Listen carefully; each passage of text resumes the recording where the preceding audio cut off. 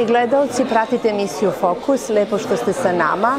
Ovu emisiju posvetili smo gospodinu Mugdimu Ćatiću, velikom humanisti i ambasadoru dobre volje. Sreli smo ga u njegovom omiljenom lokalu Castelletto na radnom sastanku.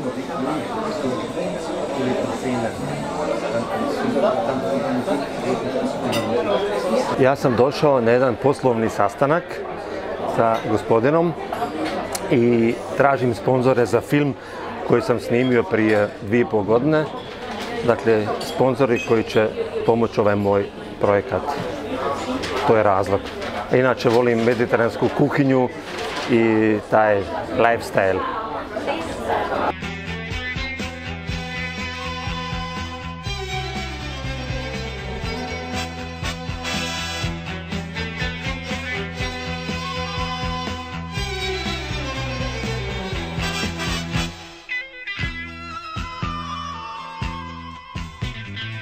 Zajedno smo rasli, grade ja i ti. Isto plavo nebo poklonilo nam stih. Iz potrebe vića sanjali smo sne. Ko će brže rasti, ko će ljepši biti. Ti si bio velik. Hallo, ich bin Lea. Mir gefällt Bielschnitzer.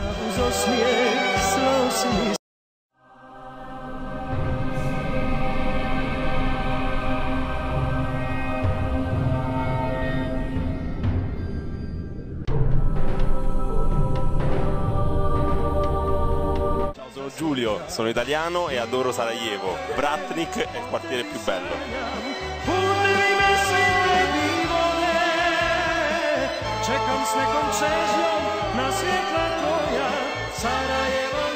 Ciao Francesco, veni da Manto a Italy e mi piace Sarajevo. Mi smo iz Zence i volimo Bosnu i Hercegovinu.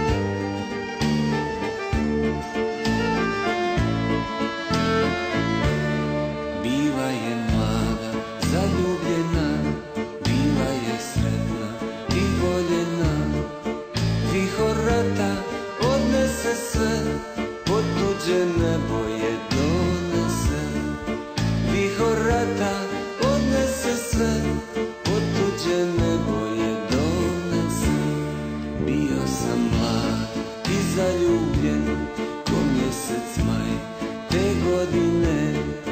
Našu mladost i naše sne vraćam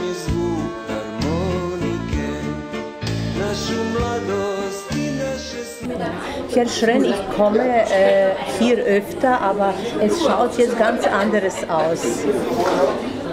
Das kann man wohl sagen. Wir haben vor knapp drei Wochen einen Umbau hinter uns gebracht, innerhalb von zehn Tagen mit einer wirklich namhaften österreichischen Agenturfirma.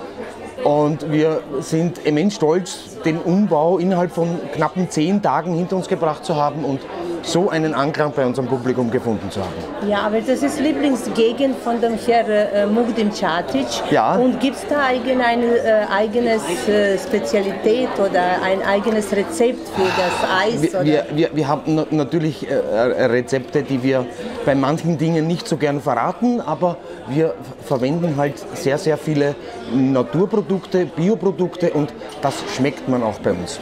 Ja, und sehr besucht ist. Ja, mediterranische Küche ist immer. Wir freuen uns, wir freuen uns über hohe Beliebtheit hier in Wien, ja. Gut, danke Ihnen. Bitte sehr gerne. Rođeni ste u Sarajevu, jednoj uglednoj familiji. Živite i radite u Beču. Da, ja sam od svoje 13. godine u Beču. Dakle, od 68. godine došao sam kod svog oca koji je već bio u Beću od 58. godine. Onda sam završio škole, dakle, razno razne. Išao sam, završio sam i za Zlatara, za, u stvari to se zove Juvel Montuer, to je više manje dizajn nakit sa platinom i bijelim zlatom i dijamantima.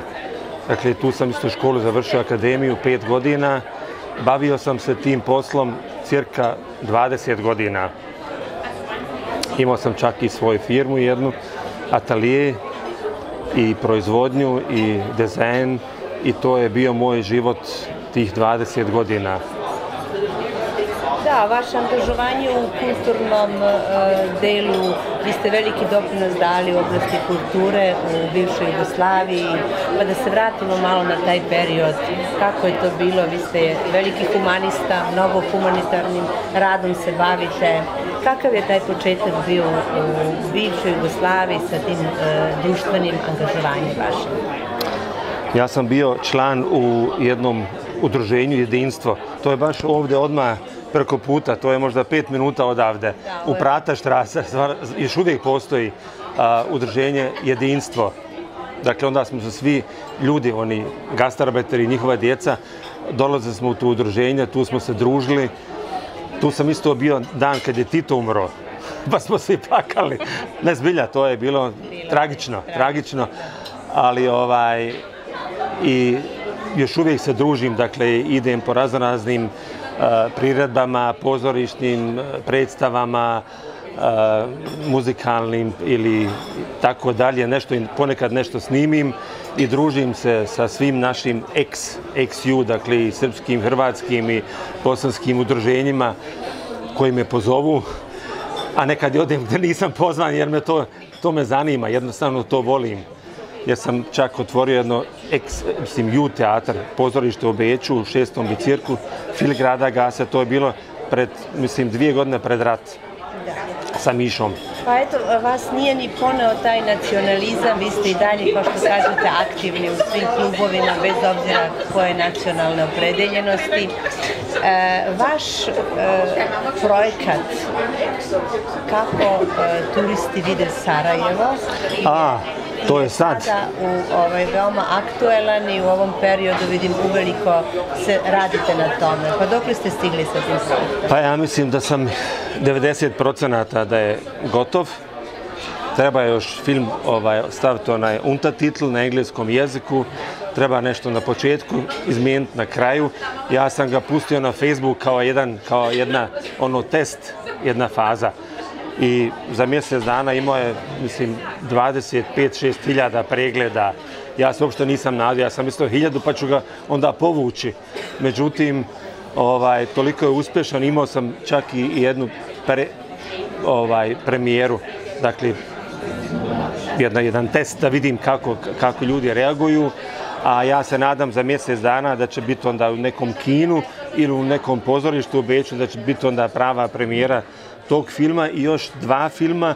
Film je jedan o Neumu, koji je već na YouTube-u, ima već preko 55.000 pregleda i film o jedan dio Sarajeva, to je Liđa.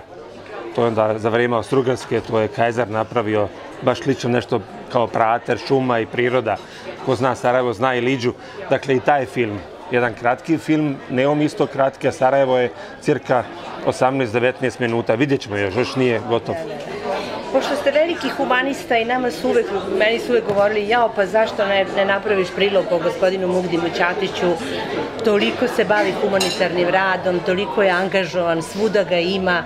I evo, baš upravo jeste razlog taj da sam se, sa vama danas, e, da se vratimo malo na taj humanitarni rad. E, kako je to krenulo, te ratne nedaće koje su bile, e, otkud ta vizija, otkud to? To je verovatno od srca krenulo da taj humanizam krene da, da počnete da. da se bavite tim radom. Ja sam, mislim, vama prije pola godine ili ne znam što koliko mjeseci da. sam poslao a, podatke, slike i neke da, dokumente da. i onda nismo se nikako mogli da, da se susret, nije, nije bilo suđeno. Da, nije. Tako da imate podatke o mom životu i da otprilike znate šta sam radio. A, dakle, to pozorište koje sam sa Mišom pokojnim, nažalost, koje smo otvorili od 1988. godine sa velikom pomoći gradonačelnika, onda doktora Helmuta Ciljka, smo imali tri godine i onda, nažalost, je 1992. godine rat, pozorište se je zatvorilo i pretvorilo se u interkult teata, što isto jedna fina priča. Dakle, sve razonazne grupe ljudi koji živi, živi ovdje imali su šansu da glume, da održavaju svoje predstave u tom pozorištu. I prije toga su bili samo ljudi iz XU. I ovaj, to isto radilo deset godina. Mislim da je sad neka faza umbao, jer ne znam, Ovaj, uglavnom, mi smo bili inicijatori toga, mi smo, mi smo porodili to pozorište. I onda je taj, nažalost, taj prokleti rat ovaj, izbio i jednostavno iz jedne potrebe ja sam morao da, da, da nešto uradim, jer ne vredi kukat i plakat i gledat televiziju i ja sam rekao ja nešto moram da uradim pa da pomognem. Dakle, onda do, došli su prvi izbjeglice na Vesbanov pa na Sidbanov sa autobusima i sa vozovima ovaj, i onda sam primio te prve ljude, išli smo po razonaznim ovim logorima, smjestili ih, bolnice, prevodio sam, najviše sam prevodio i to je, to je bio jedan haos, jedan, jedan, jedan, to je, niko nije znao, ni, ni, niko pije, niko plaća. Ljudi su došli, nisu znali gdje su uopšte, kakav, kakva Austrija, kakav Beč, bez znanja jezika, mala djeca, neke žene trudne, vodio sam ih po bolnicama, njih posjećivo. Dakle, ja sam bio, mislim, dve četiri sata, bio sam angažovan i nim to nekako teško palo. Bio sam normalno mnogo, mnogo mlađi. Da, da. Ali međutim sam se onda isto razbolio, imao sam problema sa, sa prije toga i sa kičmom, sa L5, dakle lumbago i tako dalje i, i ležao sam par mjeseci, isto bio sam bolestan, nepokretan, tako da onda sam opet, kad sam ozdravio, opet sam krenuo u akcije, radio, a me, umeđu vremenu sam imao velike te, teško, ja sam, imam poslovne slike sa ovaj, videli ste moje ruke, kako su izgledale. Da, da, da. To je, mislim da se zove neurodermitis. Tako da sam bolovo od toga 20 godina, samo 20 godina. I da nisam mogao ništa, ono, znate, dakle, vrlo teško, ali sam radio ovaj posao, prevodio, radio s ljudima, ali vjerovatno je to sve, treba doktora pitati, to je od velike nervoze, od tog, tog, tog rata, od tog svega, da se to odrazlo na, na, dakle, na te moje ruke, da, da se to kao, ne, kao neka slika. Da, to je, to je odraz psihičkog stanja. Da, da, ja nisam mogao više to da prebolim, to, tu, tu situaciju. Mugdi me, kako i gde ste počeli svoj humanitarni rad? A to je bilo u, u Poreću, ja mislim, 91. godina, ljeto, august mjesec, jeste. I a, išao sam na odmor i onda sam imao taj prvi susret sa izbjeglicama iz Hrvatske. Rat u Bosni i Hercegovini još nije počeo.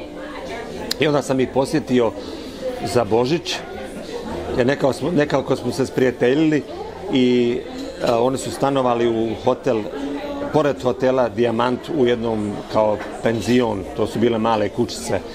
I onda smo se nekako družili, oni su za mene isplili neke, neke one, a, sokne, kao žene su bile sa sela oko Zagreba i prvi put se mislim da su prvi put bili na moru. I onda smo se družili, razgovarali smo, nešto sam im ja donio i to je to je bio taj prvi susret sa izbjeglicama.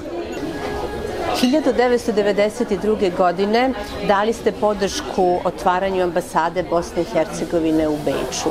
Kako je to bilo? Da, onda još uh, nisam imao feren, nisam udruženje, nisam otvorio, jer ja sam mislio to će sada taj rat za dva, tri mjeseca navalče cijeli svijet i to će biti, ne, nema šanse da to duže traje. I onda smo, nažalost se to duže trajalo i pomogao sam, nisam ja nikad radio u ambasade, nisam imao, dakle, bio sam NGO, prvo kao privatna osoba i onda sam vidio to traje sve duže i duže i onda sam ipak morao otvoriti to udruženje i nešto sam malo pomagao i ambasadi, i ambasadorima, konzulima i ljudima, naravno ljudi koji su čekali ispred ambasade i kao neki, kao neki koordinator, dakle, da, to je bilo u tim godinama. E, u ratnim uslovima e, pomogli ste penzionerima iz Bosne i Hercegovine koji su radili u Austriji da dobiju isplate svojih penzija i za ostatak. Kako se to desilo? A, a, u Beč je došao zamjenik direktora Tuzanske banke, gospodin Arnautović, bio je tri puta u Beču. Međutim, druge ustanove nisu bile sposobne da, da riješe te probleme a ti ljudi koji su radili ovdje u, u Austriji, oni su već bili penzionisani u Bosni i Hercegovini. I onda normalno da im je falilo, to je bilo preko godinu dana te penzije za ostatak isplate. I ja sam to regulisao sa pensionalnim, sa Fezigerom osiguranjem i otišli smo tamo, dobili smo ovaj, te potvrde da će to biti isplaćeno. On je, banka imala neki, neki, nek, neku zalihu, neki novac je imala ovaj u, u, u svom tresoru, dobili su te garancije i onda su ljudima isplatili u cijelom godinu dana u šilingama, znate, to su bile velike uh, svote novca i onda ti ljudi su onda pomogli i, i, i sebi i svojoj familiji i ovaj bio je to je bio spas za njih.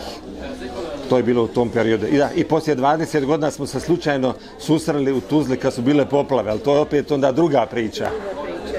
1995. godine, zahvaljujući francuskom glumcu Pierreu Brisu, predložili ste u emisiji Vetni Das von, kod gospodina Tomasa Gočalka da se pokrene akcija prikupljanja sredstava za pomoć Bosni i Hercegovini. Pa, pošto ja volim pozorište i imao sam isto jedno pozorište u Beću, to, o tome smo još razgovarali, a, ja sam njemu prišao, znao sam da je on veliki humanista i da voli da pomogne i onda on rekao dođite sutra u hotel Saher. Sjeli smo tamo, razgovarali smo. Ja sam znao da, da će on biti gost u emisiji Vetn Tas kod Gočalka i ja sam ga zamolio da nekako, da nekako ispred publike da, da potraži tu pomoć, da se skupi neki novac i on je rekao ja vam to ne mogu obećati jer ja sam tu samo gost, ali zamolću ovaj, reditelja i Tomas Gočalka predložiti to pa ako uspije, uspije međutim, hvala Bogu, uspjelo je. On je gostovo u emisiji i onda se prikupilo, ljudi su ono, znaš, donacija, nazivali su na telefon i publika, to je bilo, mislim, za par miliona ovaj, publike. I onda se prikupilo oko 2 miliona Deutsche Mark, milion OERA, ali bila je još marka. I onda je CTF, Cvete Deutsche Fernsehen, oni su organizovali tih 7-8 ovih šlepera i Pierre Brice je isto on je, to je bila njegova želja, da on sjedne u šlepare i on je, to je bilo 95. godine, on je ovaj putovao, pratio te, taj, taj konvoj i stigao je tamo, nažalost su pucali na konvoj, njega su isto uhapsili par sati, nije bio ranjen, sve bilo u redu i ovaj to je to je bila ta ta akcija, to je bilo normalno unutra ovaj hrana, garderoba i sve što je treba medicinske neke opreme, dakle sve što je trebalo, to je bilo u centralnoj Bosni i Hercegovini. I to je to bilo i za mene je to jedna, jedna velika stvar i poslije 20 godina isto, kao isto sa gospodinom Arnautovićem, susreo sam se sa Tomas Gočalkom u Beću u hotelu Bristol i da sam mu ja dao kao neku zahvalnicu to i bilo mi, je, bilo mi je drago, sjetio se tog perioda i to je bila ta akcija. Vaš doprinos je također bio i kada su se austrijska preduzeća uključila u obnovi i razvoju Bosne i Hercegovine u posleratnom periodu. Kako se to desilo? Koje je vaš, vaše učešće bilo u tom doprinosu? Kako je dole, kako je stanje, šta, s kim da kontakt e, stupe, s kojim ljudima, ovaj, to je bilo sve, znate, nije bilo ni, ni ovih kompjutera, ništa, bilo, bilo je vrlo teško komunicirati. I onda sam ja dao neke savjete i, i neke adrese i onda sam uvijek, ako im nešto trebalo da, da znaju kako se ovaj, da stupe s nekim u kontakt ili bilo šta, neke informacije, ja sam im vrlo, što sam mogao, ni, ja isto ne mogu nešto, nešto, nešto veliko nisam mogao da uradim, ali ne, neke sitnice, dakle, neku podršku sam im dao i prevodio i na telefon zvao i tako to. Imali ste čast da otvorite i prvu avionsku liniju uh, Beč-Sarajevo 1997. godine. Neki dan sam čitao u novinama da su oni slavili 20. godišnicu, da sam se ja pitao, ja, pa 20 godina je prošlo. Ovaj, da, bio sam, letio sam Beč, uh, Sarajevo uh, i u Sarajevu sa, sa direktorom tadašnjim, više nisu on direktori, Pramer i Ruhelka.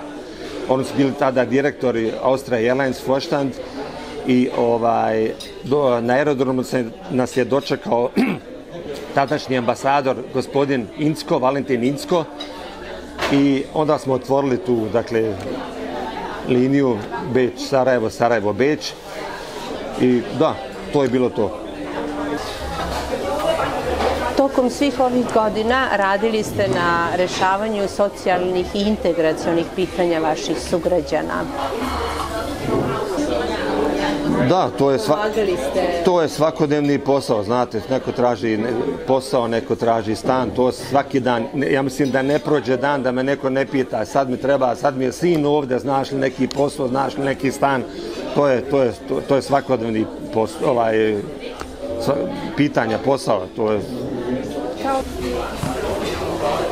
Čitajući vašu biografiju Mugdime, e, videla sam da 2013. godine ste učestvovali u jednom projektu otvaranje humanitarne pekare u Srebrenici. Ja sam bio u Beču ovde i onda čitam u, u novnama jedan humanista žurn, i žurnalista, jedan iz, iz Dortmunda, mislim da je, a, zove se a, Dirk Planert i kaže on, on otvara pekaru u Srebrenicu, u Srebrenici. Ja, onda sam se ja pitao, pa kako jedan Njemac otvara, zašto ne otvara neki, što ja znam, neki iz Bosne i Hercegovine ili, ili neko iz ili odavde iz Austrije ili iz Bosne i Hercegovine. Međutim, mi smo stupili u kontakt putem maila i onda smo se telefonski čuli i on je rekao ja idem sa šleperom, nosim pola, pola šlepera je ovaj, za pekaru, priprema, dakle oprema koja treba, koja je potrebna za pekaru, a pola je za ambulantu. I onda je on krenuo iz Njemačke, ja iz, iz, iz Beča, bio sam u Sarajevu 10 dana, taj, taj šleper je bio blokiran, nisu ga pustili, nisu, bili, mi smo velike probleme, on imao probleme. Onda sam ja urgirao dole kod vlade u Sarajevu i nismo se nikad u životu vidjeli i pola sata, dakle, u, u, smo se u, u Srebrenicu, on je stigao pola sata prije mene, a nismo nikako, nikako, nismo se nikako dogovorili, nije bilo šanse. I onda, je, onda sam pomogao da, da istovarimo to iz tog, iz tog šlepara. Bili smo u Srebrenici taj dan, a, pripremili smo tu pekaru, to je njegov projekat, ja sam tu bio samo jedan mali asistent. Otišli smo u a, ambulantu, jednog smo doktora vratili koji su izbacili iz posla, njega smo vratili opet na posao, razgovarali sa direktorom e, bolnice i ambulante, dakle, u- sredili tu ambulantu koliko smo mogli. I da, to je bio taj projekat, da, u, u pekari se isto dijelilo a, svaki dan, to je isto vrlo važno, e, a, 80 ujutro, 80 kila a, a, kruha, hljeba, kako hoćete, i za ljude koji nemaju ništa ne, da jedu, da, ovaj, dakle, on su do, ujutro, svako je mogao da dobije po jednu kilu hljeba i tu su radili normalno svi- omladina, zvala se pekara mladost. Dakle, svi, normalno, to je bio naš uslov da rade i svi, sve nacije, omladina. Međutim, pekara je sad zatvorena, pošto vlasnik pekare je pronevjerio, rasprodao je to sve i pobjegao je.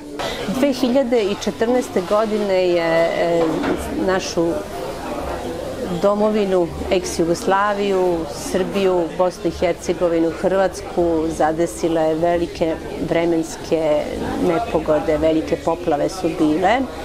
I tu sam, e, čitajući u novinama, videla da vaš doprinos i vaše učešće i pomoć u toj humanitarnoj akciji. Ja nisam tu bio u početku, ja sam mislim treći dan ovaj priključio se to je akciju, tu je bio Ahmet, Ahmet Husagić, Kemal Smajeć, onda Darko, Markov, dakle bilo nas je više, ali tu je radilo još 50 drugih uh, žena, muškaraca koji su tu robu ovaj sortirali i dan i noć smo tu radili, onda smo sa prvih, ja mislim, osam šlepera smo otputovali prema e, Sarajevu, 34 sata smo putovali preko granica svi sa velikim problemima i poslije uh, ja mislim 70 šlepera je još stiglo ovaj u Bosnu i Hercegovinu. Ja sam bio poslije tri mjeseca i po Bijelni i po Tuzli. Pot, poslije toga sam putovao tri mjeseca, snimao ovaj, emisije, pomagao ljudima. Da, to je bio taj period. A da li ste vi organizovali humanitarne koncerte u Austriji? Nisam, ja sam želio, znate, ja sam želio da to uradim, ali međutim i ja, ja dajem podršku ovim udruženjima koji, koji to organizuju, šta ja sam dođe neki pjevač ili, ili glumac i odigra neku, neku predstavu, ali ja sam želio, nažalost nisam to uspio da to bude zbilja humanitarno, da se, da se tom umjetniku plati a, dakle troškovi hotel i, i, i avion ali da, da ne dobije, da mu se ne isplati ovaj gaža, dakle da ne dobije još novac. Jer to za mene da nije humanitarno. Zato, zato nisam to radio. Nažalost nisam još pardon, nisam našao tog umjetnika koji bi od svojih 30 nastupa cijele, tokom, tokom cijele godine koji, koji bi rekao, e, ovaj 31. mi ne treba, neću novac, a platim samo troškove. Kad bi takvog našao, onda bi vrlo rado ovaj, organizovao takav neki humanitarni koncert.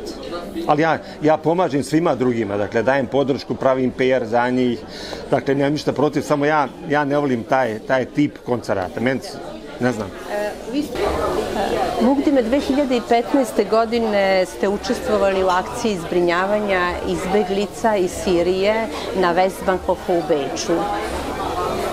Ko je vaš doprinos bio u toj akciji?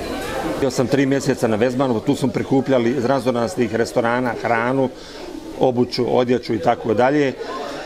I taj period na, na istom tom Westbahnhofu a, sam dočekao izbjeglice iz Bosne i Hercegovine 1992. godine i to mi onda posjećalo na, na, na taj period.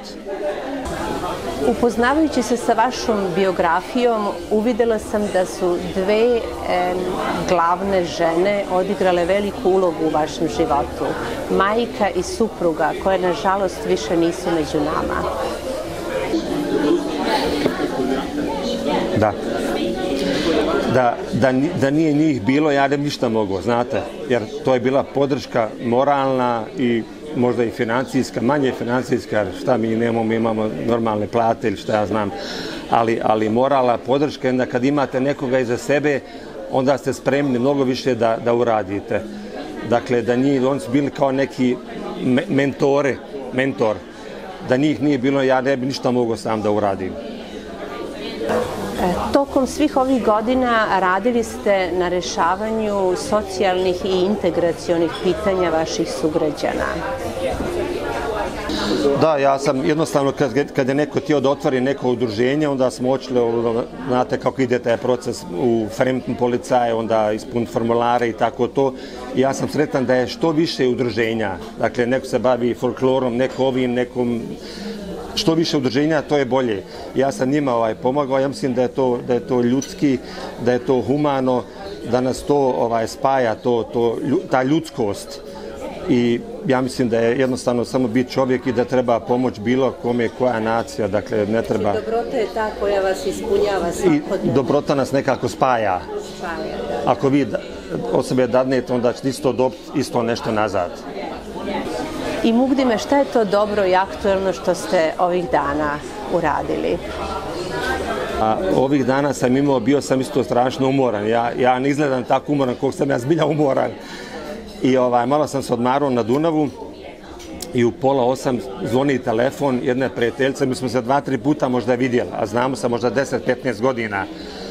Biljana Svirov, ona je medicinska sestra poreklom iz Sarajeva, a njen, njen deda je poznat, ovaj, on je a, veliki muzičar bio, svirao je harmoniku i kompozitor a, Jovica Petković, nažalost više nije među nama, i ona me, ona me zove, kaže, Mugdime, ja sam u, u centralnoj bolnici u Beću, molim te, pomozi mi. Ja pitam šta je, šta se desilo, kaže, pala sam, slomila sam lijevi lakat, i molim te dođe, imam neki problem. I onda sam ja očuo u bolnicu, bio tamo do 9 sati, zamolila me da joj, da joj auto preparkiram, nikad ne znam njeno auto, njena, ne znam gdje stanuje, uzao sam te ključeve, otišao u njen stan, ovaj, preparkirao prvo to auto, donio je mobilni drugi telefon, neke dokumente, opet se vratio u AKH, u bolnicu, u centralnu bolnicu. I onda sam tamo bio u noć do pola jedan, što mislite, ove su sestre ulazile, već, već su me tjerali iz bolnice i onda sud, sud, onda su operisali i tako kažem, tako se dese neke stvari koje vi uopšte ne možete proračunati, to je to je život. Mugdime i za vas su isto velika priznanja kao jedna potvrda ovog društva da ste zaista uh, puno se angažovali. Aha. Dobili da, od... priznanje od uh, bivšeg gradonačelnika grada Da, i bivšeg i sadašnjeg i, i doktor Moka isto. Jedinjenih nacija. Jedine UNHCR, da, tri puta je udruženje, nisam ja. nego udruženje koje sam vodio. Ipak, a, mislim, 94. 6. i 7. godine. Ne znam, sad ja mislim da, da je tako tri puta, ipak je to UNHCR, UNO, ipak je to ne, nešto znači. Oni su to priznali i ovaj, čak prvo mjesto je dobilo i novčanu nagradu koju mi nismo dobili, ali mi smo svi, svi smo mi, do, svi smo mi isto pridjeli. Dakle, to je samo prvo mjesto je dobilo novčanu nagradu. Ali, ovaj, i to smo dobili od, iz ruku od gospođe a, Pramer, koja je isto, nažalost, pokojena predsjednica parlamenta austrijskog. Ona je onda bila ministrica za familije i ona nam je uručila te, te, ta priznanja, sad ne kaže nagrade, ali ipak to je od Austrije baš fino. Da, vaše udruženje koje imate, e, čime se još bavi? Pa, e, udruženje e, Verein zu Integration der bosnischen Bürger in Österreich, dakle udruženje Bosna i Hercegovina. Da. Na početku normalno smo najviše ta, rješavali ta, te, te socijalne probleme to je bilo najviše. Ja mislim, to do, do danas dan traje. Ljudi me zovu, pitaju šta misliš, znaš li ti ovo, znaš li nekoga, šta se može, dakle, uvijek neko savjetovanje. Dakle, uvijek posao, kursovi jezika i tako dalje. Dakle, integracija. Ma, sada je toga mnogo manje, jer sad imaju već u Austrije, Austrije grad Beč nudi ove raznorazne integracijons kurse i, da, i, da. i učenje njemačkog jezika i mnogo novaca investiraju ovaj, za integraciju. Onda kad sam ja došao, ja sam bio jedini, jedini dječko iz, iz Jugoslavije, ja sam sjedio pola godine, nisam znao ni jednu riječ njemačkog jezika i niko se nije pobrnuo. Ovaj, dakle, sad je situacija milion puta bolja nego onda. Šta vi mislite kao veliki humanista i čovjek velikog srca, um, kako treba ljudi u današnjem društvu da žive? Pa, ja, po mom mišljenju, jednostavno da, da smanje to neki svoj, na njemačkom se kaže, nacionalštolc, to, to neki, neki ponos, neki nacionalni, ali šta stoji za toga? Da. Nego da, da pokažu samo svoje čovečanstvo, da pokažu ljudsko i sebe i da, da priđu svakome čoveku kao sestri, bratu. I ja mislim da je, to, da je to sasvim jednostavan recept i da bi se moglo tako i da se mora tako, da se mora svaki čovjek osjetiti kao svoj brat i sestra ili majka ili stariju osobu treba pomoć preko ulice ili, ili pomoć, dakle, gledati kao svoj majku, kao svog oca.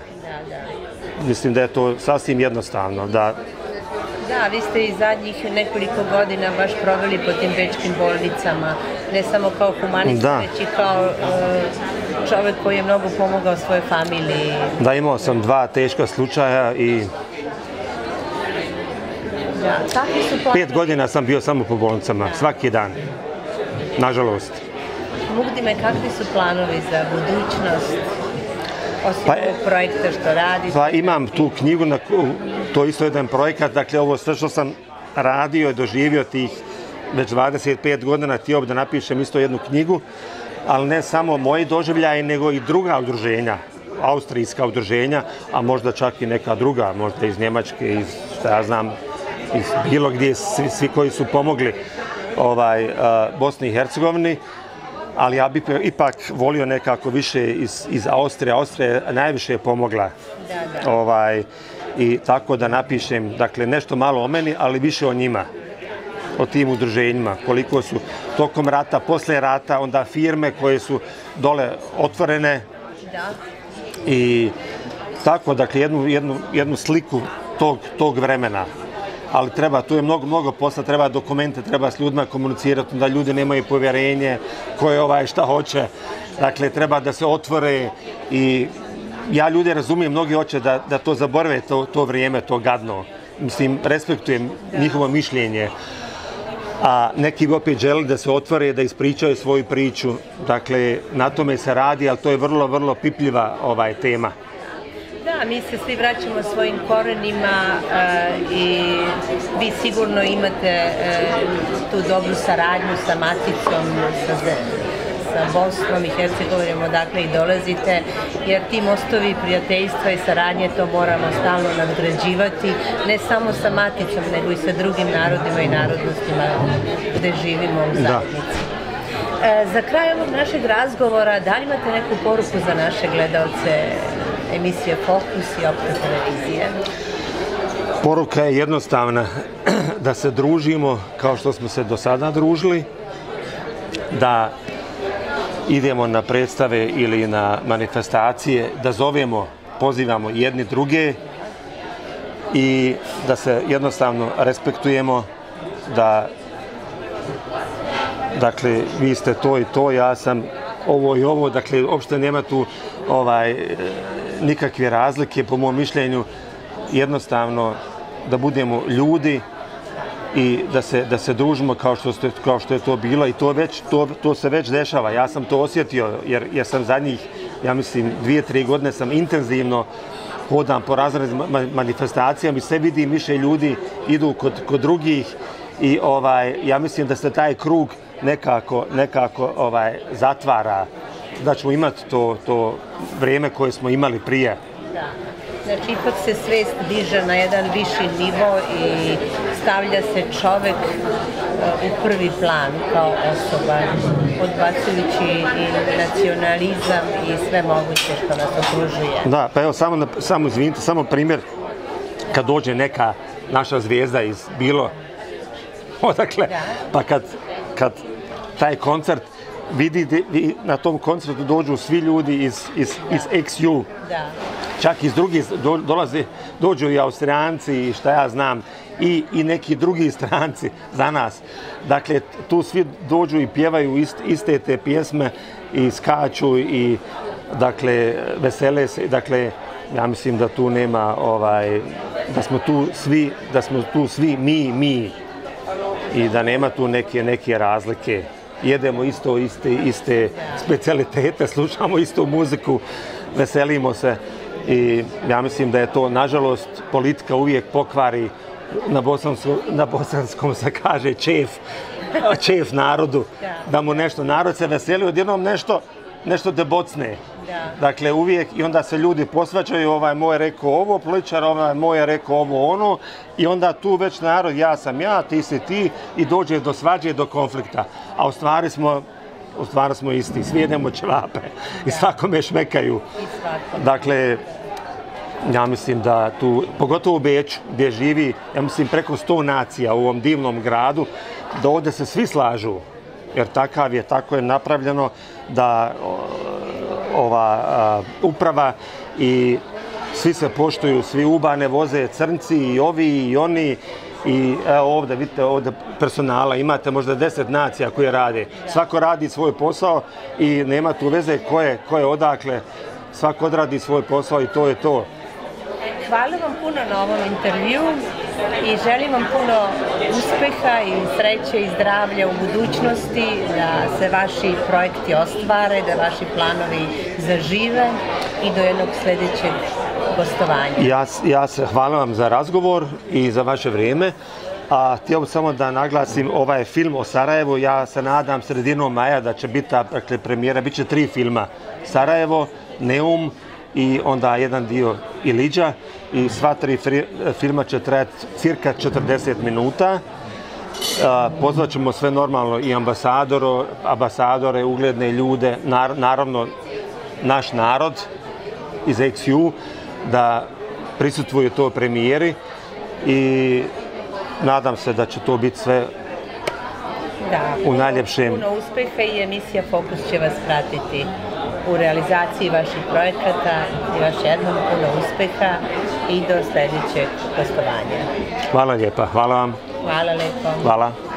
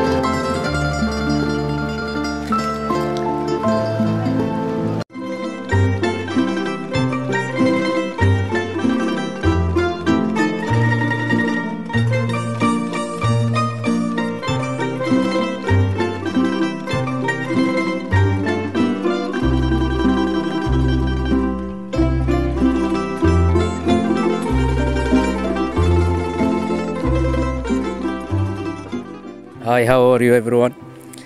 My name is Yusuf, Yusuf Abdurazak, and this is, we are in Bosnia, and Bosnia is very beautiful, very nice. It's an amazing country, and first time we came here to Sarajevo.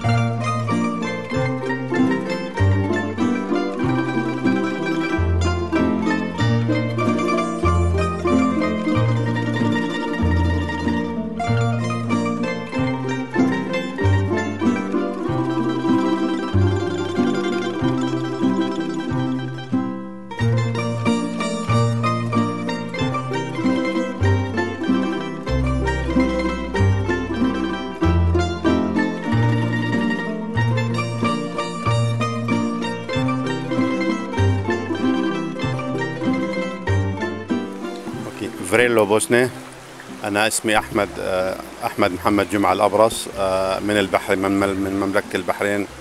أتينا البوسنة نتمشى ووصلنا الآن إلى نبع البوسنة والهرسك. وما شاء الله جو جميل ولطيف جدا ودرجة حرارة ما بين 15 إلى 20 تتراوح وبأي لحظة تجد المطر ينزل. وشيء جيد وجميل جدا وأنصح إخواننا في الخليج.